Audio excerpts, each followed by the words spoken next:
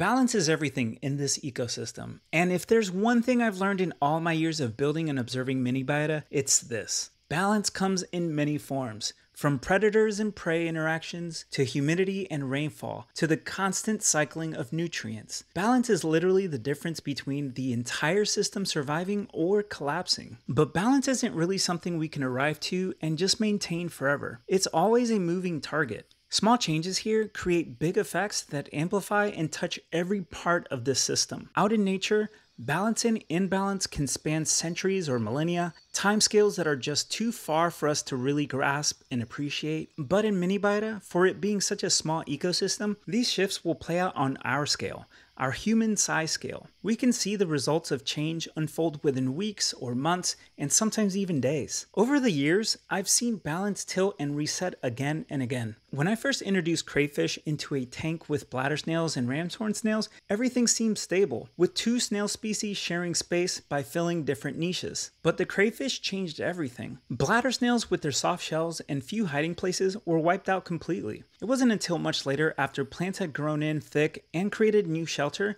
that I could reintroduce them and see them finally survive alongside their predators. In an old grassland biome, I learned how crucial rainfall is.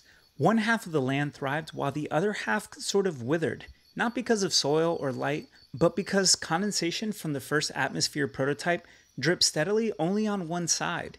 That precipitation alone made the difference between life flourishing or stalling out, even within just this one biome. Then there was a time a single broadleaf plant sprouted among a carpet of low ground covering plants. I thought it might grow too large for the system, but I let it continue, and within months it reached the lights above and shaded every plant below, slowly driving the ground covering plant into extinction. And in the saltwater realm, imbalance came in the form of filamentous algae.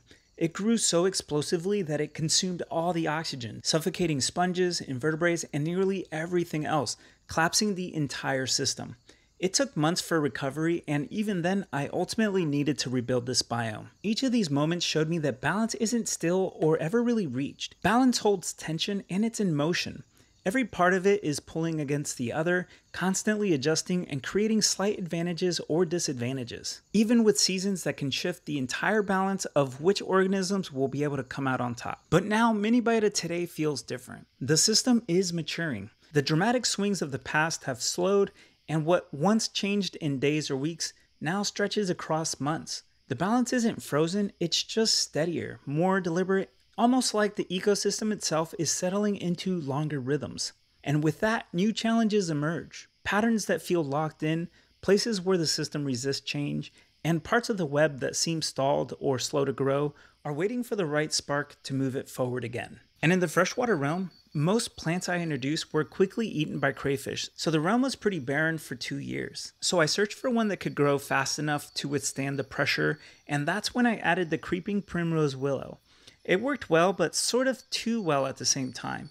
The willow spread aggressively, soaking up nutrients and building dense mats until I couldn't even see into the tank anymore. To push back, I then introduced water spangle, a floating plant that competes for light at the surface. The willow immediately shifted strategies and it dropped its shaded underwater leaves and grew upwards, breaking out of the water to chase light above the spangle. The spangle grows fast too, but unlike the willow, it's regularly grazed by crayfish its future here is really uncertain. Still, though, the spangle brings something new. Its mats shelter water fleas, copepods, and other zooplankton, laying the foundation for a richer food web. If it can establish itself, either now or when the lake biome expands into new tanks, it could become a crucial piece of complexity in this realm. On the terrestrial side, thick grass dominates the landscape, but it's poorly used by the creatures here. Crickets and roaches survive, but they don't thrive with the rapid growth they might have in a richer environment. Their populations inch forward slowly, but they're held back by limited nutrition and predators waiting for them.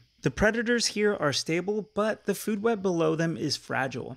To truly push this realm forward, the system needs plants that provide richer, faster nutrients, the kind that could spark a boom in primary consumers, and from there, ripple upward into greater complexity. I've also tried adding grasshoppers to this realm many times, but they've always quickly died out. For the longest time, I couldn't figure out why. I thought the problem was airflow or humidity, so I tested it with fans and environmental adjustments, but the grasshoppers still didn't make it. They even bred, but their offsprings never grew beyond a couple molts. It was only recently that I realized the real issue here that grasshoppers need far more water than the grass itself can provide. In the wild, they rely on dew that forms on blades of grass each morning, and dew does form in miniBIOTA, but only when the system isn't venting. For that, I'll need a fully working atmosphere across the tanks before I could really put this hypothesis to the test.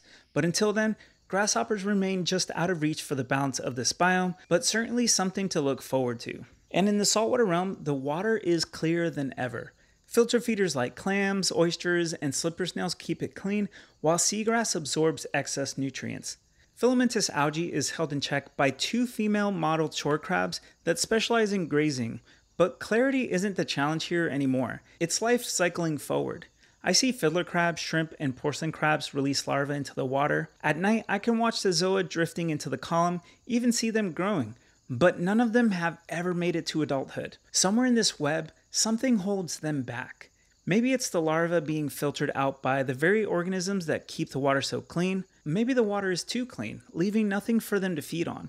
Or maybe the right conditions for settlement simply aren't there. Whatever the reason, each new generation fails and the realm remains locked in place. Even among the snails, balance is pretty elusive. Populations of Cerith snails and lightning nerites have been in steady decline over a year, not because of food shortages or breeding failures, but because of predation. The common Atlantic marginella has become one of the only truly successful multi generational snails here, along with slipper snails. And I believe that's because marginellas are active hunters, chasing down the freshly hatched juveniles of other snail species and consuming them before they can establish. It's a dynamic that threatens diversity here and reduces the grazing pressure needed to keep surfaces clear of algae. So now I'm left with the decision.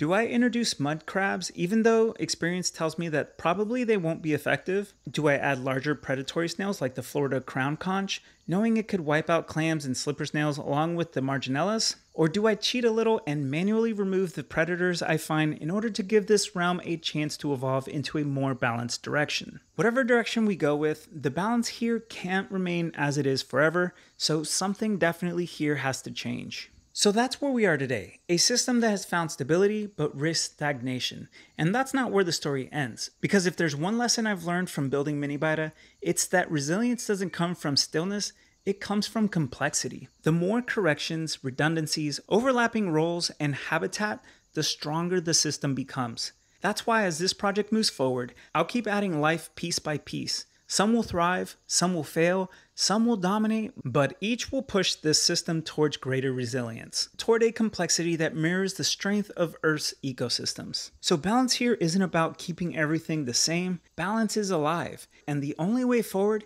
is to let it keep evolving.